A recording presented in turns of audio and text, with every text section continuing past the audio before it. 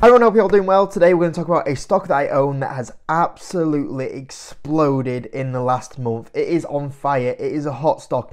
With being a hot stock and the shares going absolutely crazy, I've had a few people saying, what is my plan around this stock? Am I going to hold it? Am I selling it? What am I going to do with this stock being on fire? And today I'm going to let you guys know. And even if you don't own this stock, I think it's a good one to kind of know how I manage a situation like this where you've had a stock and all of a sudden it's come massively on fire and it's exploded. What's the kind of the next step? So we'll get onto this stock today. So this stock is Alpha. No, it's not that. Even though that one's on fire, it's not Alphawave. It is Hims. It's even though Hims and Hers is on fire, it's not Hims and Hers. It's it's not DraftKings, even though DraftKings has been on fire. It is going to be Darktrace. Darktrace is absolutely on fire at the moment. And today we're going to talk about what is the plan for Darktrace. Now, if you actually look in the last five days, the stock is actually up 25%. What a move that is. The portfolio once again yesterday pushed to all-time highs and it's been a fantastic year. It's been a fantastic fantastic 2 years. I really enjoy making these videos because after the, like the bear market of the last 2 years, it's so good from that awful market in the back end of 21 into 2022 to now in 2023, 2024 to be able to make these videos and go, there we go. There we go. We're back smashing it again, and it's absolutely amazing. So we're going to talk about Darktrace today because I'm going to say a few things quite surprising, I think, to a few people about this stock. But yeah, I mean, absolutely on fire. Up 25% in the last five days. Year to date, up 40%. Really good performer. And let's be honest about this stock. I mean, it's a stock that, if I actually look at when I first started buying it, which was around April time 2023, this is actually nearly up 100% since that time frame. But I love this stock. It's the financials have been absolutely amazing, and as always, I want to make sure I keep buying my winners, even though my winners keep going up and up and up. And I, I could sit here now and go, "Oh, look, I'm up over 100% since I talk about Darktrace. It's absolutely amazing." For me, it's about making the most money possible. So if I still, if I'm up 30% and I look at that stock and I go, you know what? I think I could still make money off this buying at these levels. I'm going to buy it and I'm going to buy it. And that's more important to me than actually going, hey, look, I'm up 100%. I can brag about that. I'd rather make more more money. So I keep allocating more capital to my winners. I keep buying my winners. I want to make sure I'm water, watering the flowers and cutting the weeds. I don't want to be watering the weeds and cutting the flowers. I keep buying my winners, and that's something that I've massively tried to focus on in the last 12 months. Is not focusing on oh that stock's dropped 20% off a profit warning. Let's put more capital in there because financially it's not performing. You know maybe it is an opportunity, but I want to give the same sort of dedication to go. You know what? With them set results out my upside has increased massively now with that. It's improved potentially my upside on that stock. So I want to allocate more capital to it. And I keep doing that with Darktrace because when you look at Darktrace, it's been full of opportunities. Even since I last bought it on this dip here, when it was a short seller report, there's been opportunities to buy this stock multiple times on dips. And that's what I've tried doing all the time. You know, we had the rally out of the short report and then boom, from uh, when it peaked around May time, there was another 12% drop. June time, another uh, 13% drop there. July time, report once look at that jump there in share price. Look at the the earnings being solid there. 30% drop, jump. But then what did it give you the next kind of couple of weeks afterwards? It gave you another 15% drop to buy. Look at September. Boom, another great update from the stock. And what did you have after the great update after the stock? Another 18% dip to buy on the stock. There's been so many times on this stock where the financials have just been getting better and better and better. But yet, there's still there's still been dips and opportunities created to buy more shares, which has been absolutely amazing for averaging up because you've just instantly got those big drops to buy and average up on this position. It's been a beautiful stock to average in on, even though it's on a really good uptrend. It's giving you the opportunities to buy, and that's why this the stock is up so much and I'm up so much and I've been averaging up so much and I've still got that much gains because there's been those opportunities to buy. And I think it all comes down to this like there's always been these shorts around Darktrace. So originally there was the short seller report that came out back in 2023 created a, a, really good opportunity in the stock back in 2023 if you did start buying then. I mean that put it, you know, below IPO levels even though it was 2 years on absolutely insane. Um, and obviously now it is above the IPO levels, but that's how you know crazy that the, you know a lot of these shorts were taking this stock that it will getting this short attack.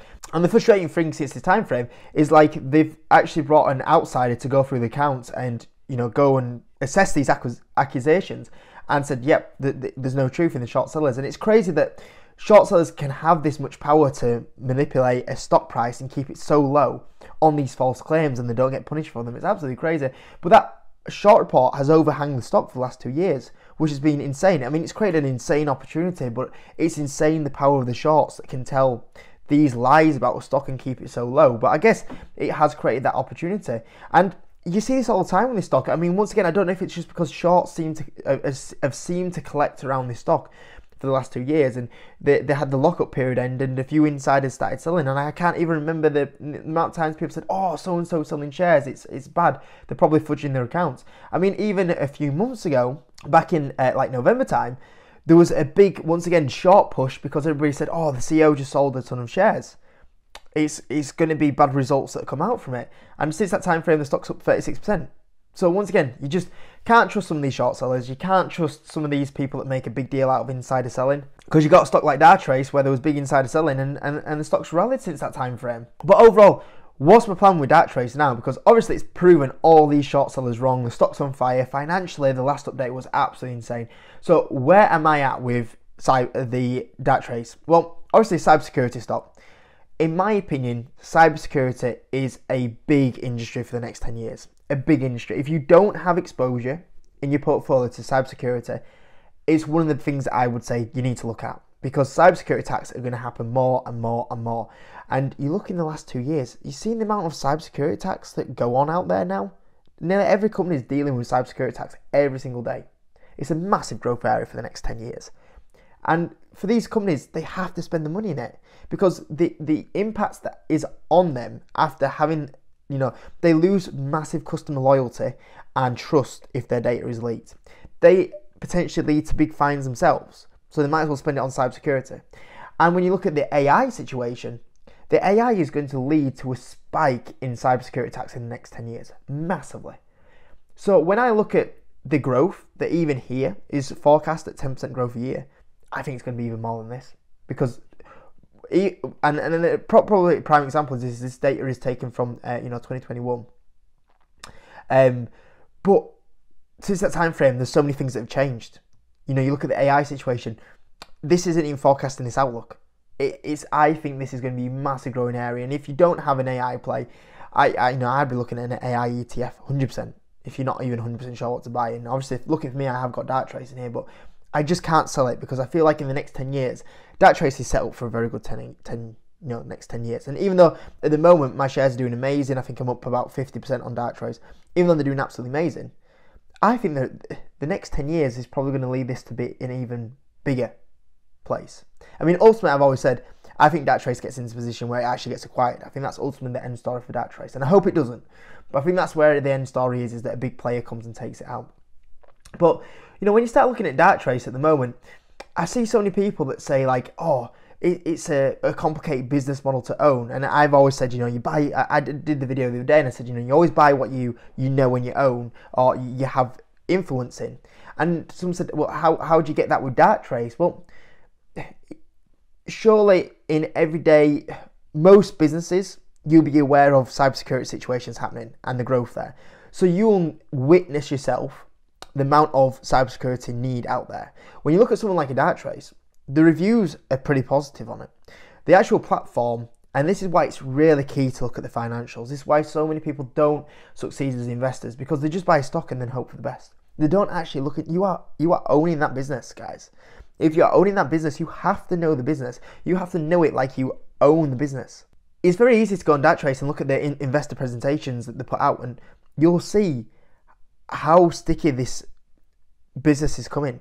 You look at customers with uh, average revenue volumes of over 100k, and they just keep increasing more and more and more, as you can see here. Apart from obviously the little pullback that happened um, because of the whole inflation period, which was the big slowing point for them. Um, you know, it, just more and more people spending more money with them.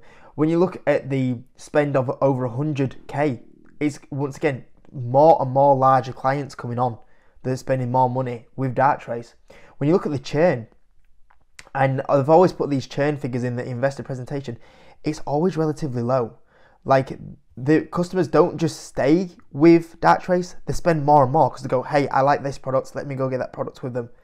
And the product has histor- and the churn's historically stayed about where it is, which says to me is that businesses that use Darktrace don't only use it and stay with them, they stay with it and buy more which is always you know the positive sign that you want to see when you're investing into a business. And this has always been available for people to access.